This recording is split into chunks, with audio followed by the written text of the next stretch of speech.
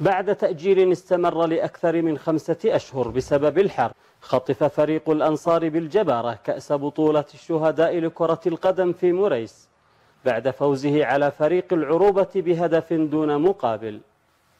لنا الشرف أن نشارك ببطولة شهداء مريس آه الثانية الذي حصدها الأنصار آه الثالثة على التوالي والسادسة في تاريخه.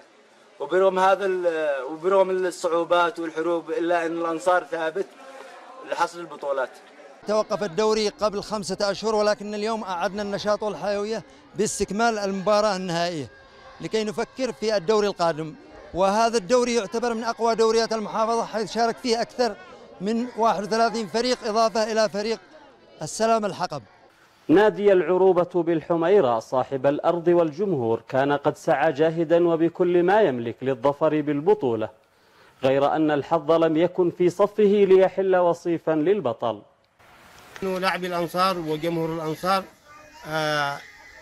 يهدون هذا البطولة لشهدائهم الذين سقطوا وكانوا يمثلوا الأنصار في المباريات السابقة أو في الدور السابقة. وأنا بدوري كمشجع لنادي الأنصار نهدي هذا الفوز للقائد الشهيد يعقوب وللقائد الشهيد أبو أبو سفيان. وأيضا لعدنان ولكل الشهداء.